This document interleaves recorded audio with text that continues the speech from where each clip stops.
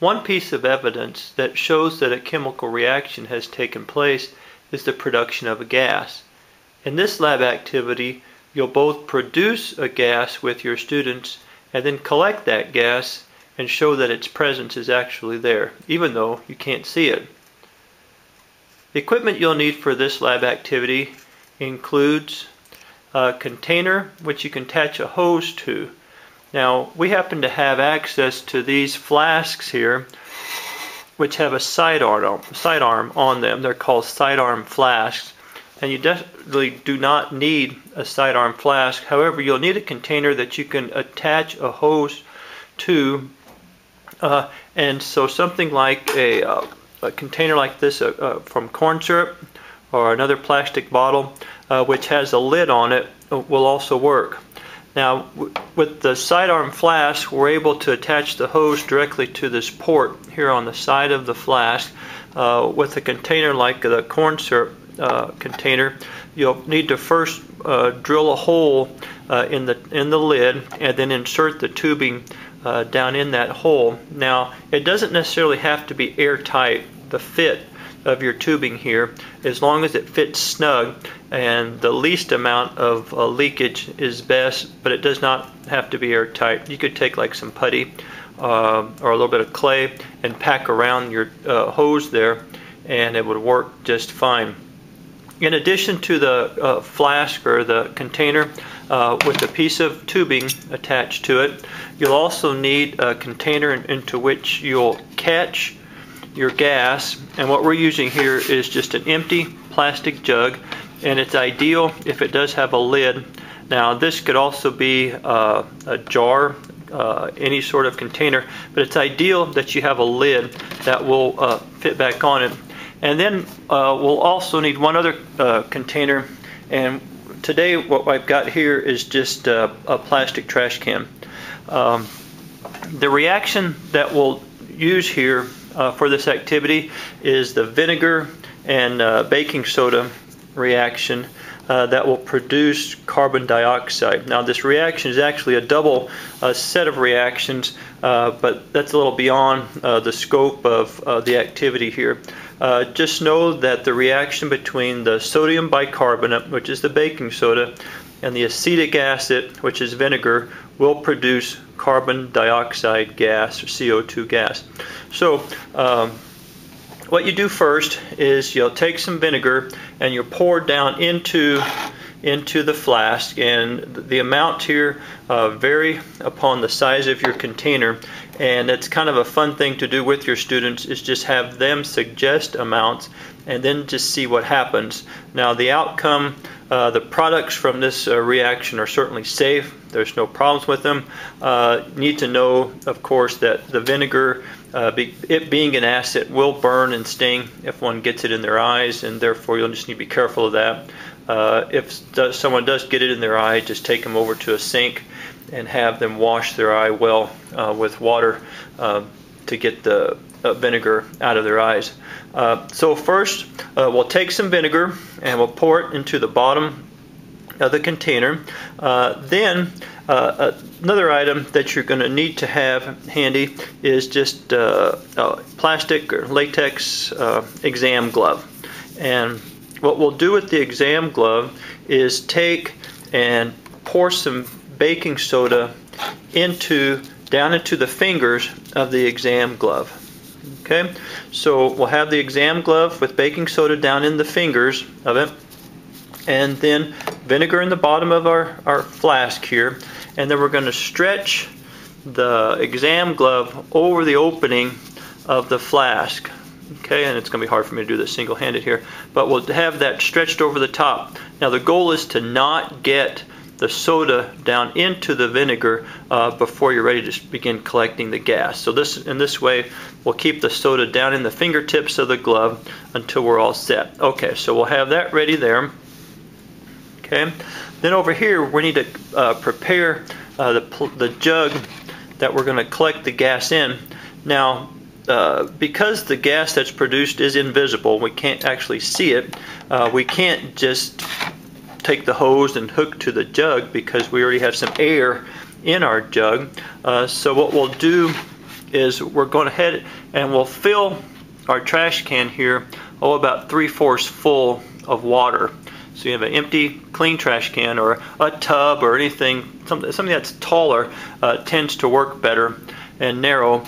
And we'll take our jug and go ahead and fill it completely with water. And then we'll take it and invert the jug, turn it upside down into our water that's already in there in hopes that we keep, we maintain the jug being full of water.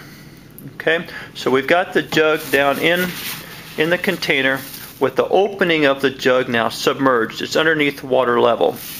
And then we'll take the end of our tubing here, our hose, and we'll go down into the water, down where the tubing then is uh, inserted partially, partway up into the opening of the jug. So that when the gas is produced over here with our reaction, the gas then will come up to the top of the flask, travel through the tube. We won't see it now because it's invisible, but the tube will begin to bubble on the end, and we want to catch those bubbles inside inside our jug.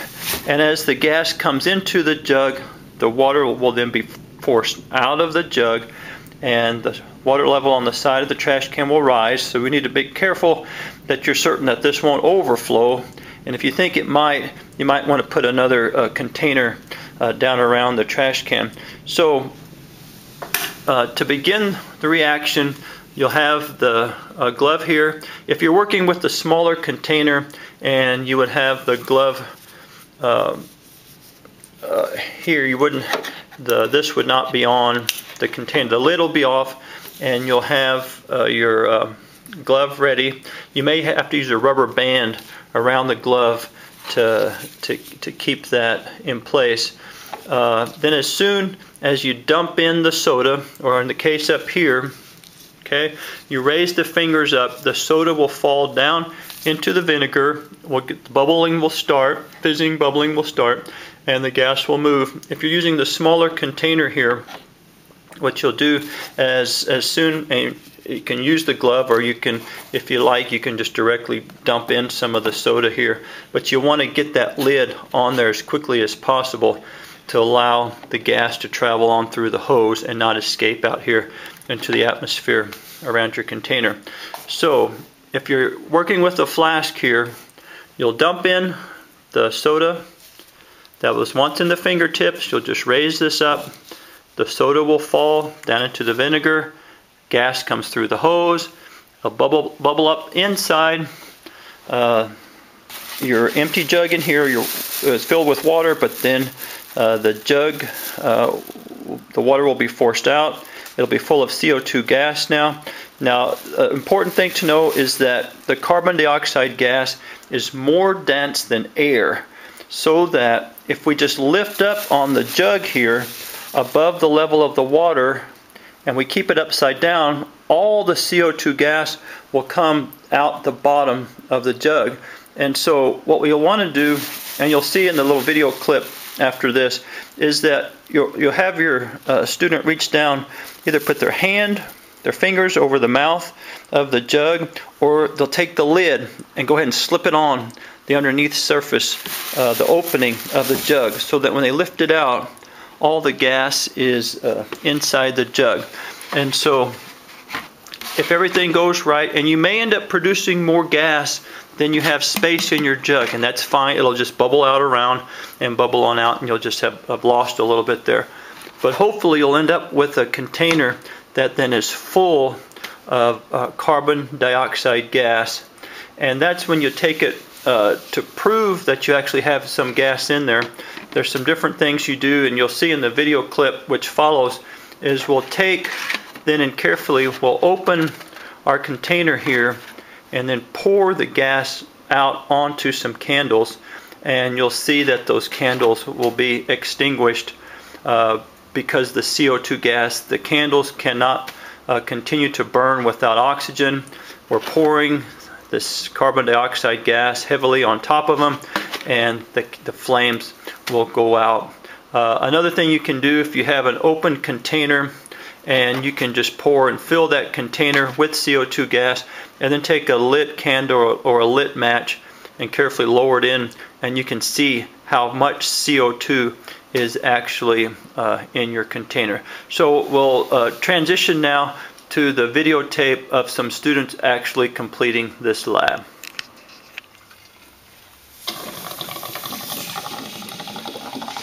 Oh yeah. Oh. Do we have enough?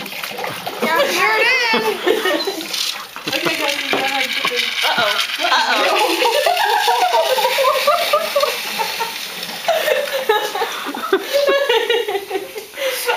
you made it too bad. okay, I thought you needed more. I was gonna say I would have done the same thing.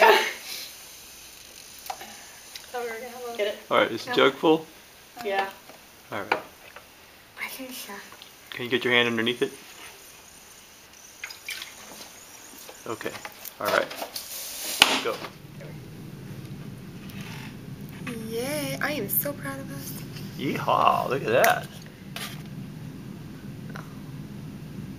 Uh-oh. You don't get all the candles out, your wish doesn't come true. Get that one.